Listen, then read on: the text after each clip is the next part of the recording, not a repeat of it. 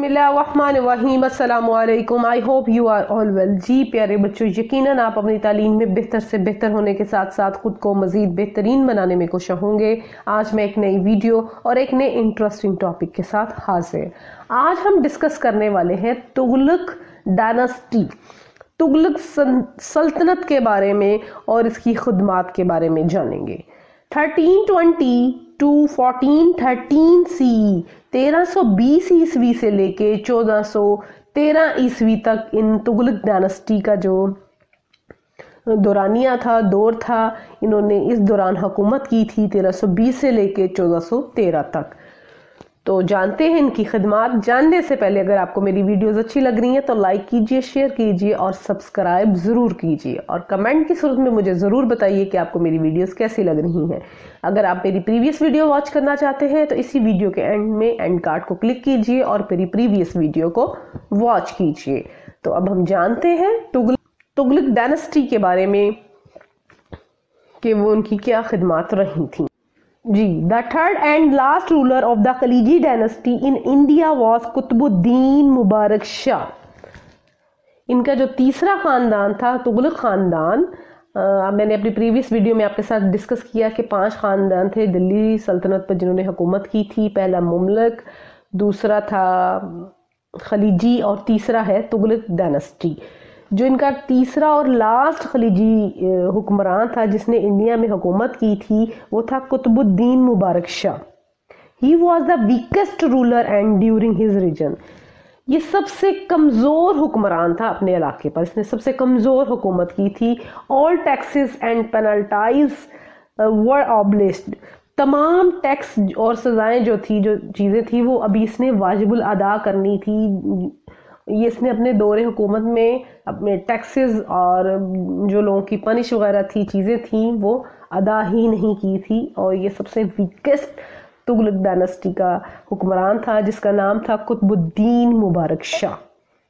तो जी look at the picture अब आप जानने लगे हैं गयासुद्दीन तुगलक के बारे में, और ये गयासुद्दीन तुगलक की पिक्चर है। आप देख सकते हैं, कुछ अपने दौर में इस तरह के दिखाई देते थे। In 1320 CE in Delhi, Ghazi Malik assumed the throne under the title of Ghiyasuddin Tughlaq.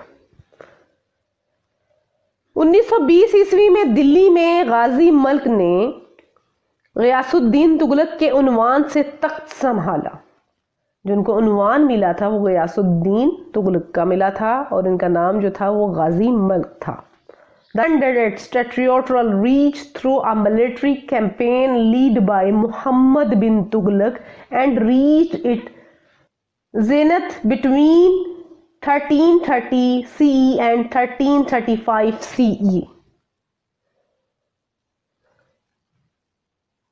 सल्तनत ने मोहम्मद बिन तुगलक की क्यादत में एक फौजी महम के ज़रिए अपने इलाकाई रसाई को बढ़ाया। यानी कि जो अपने इलाके की रसाई थी, वो सल्तनत मोहम्मद बिन कासम की क्यादत में एक फ़ौजी महम के ज़रिए अपनी इलाकाई जो हिस्से हैं उनको बढ़ाया और 1330 ईस्वी में और 1335 ईस्वी के दरमियान अपने अरूज को पहुँचा था।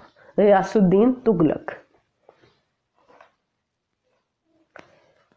Sultan were Ghiyasuddin Tughlaq, Mohammad bin Tughlaq and Firoz Shah Tughlaq, the this dynasty this dynasty was ended in 1413 CE जो तुगलक खानदान के जो फ़ेमस हुक्मरान थे, उनमें मशहूर सुल्तान गयासुद्दीन तुगलक, मोहम्मद बिन तुगलक और फिरोज शाह तुगलक थे। इस सल्तनत का खात्मा 1413 ईस्वी में हुआ था। Contribution of the Tughlaq rulers Tughlaq हुक्मरान की क्या कंट्रीब्यूशन थी क्या खदमात थी तो जानते हैं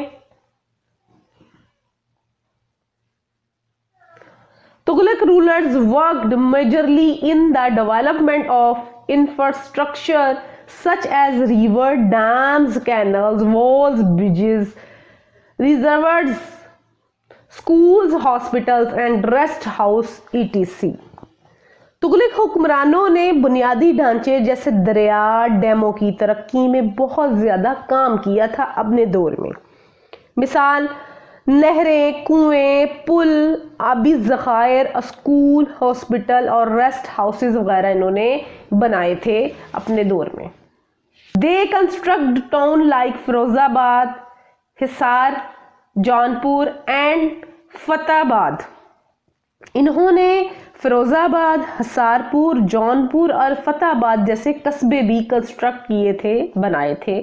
They introduce the copper currency system इन्होंने तांबे की करेंसी का निज़ाम भी मुतारफ़ कराया था। जैसे कि हम प्रीवियस निज़ाम में देखते हैं कि जो करेंसी क्वाइंस हैं, वो गोल्ड या सिल्वर के ही थे।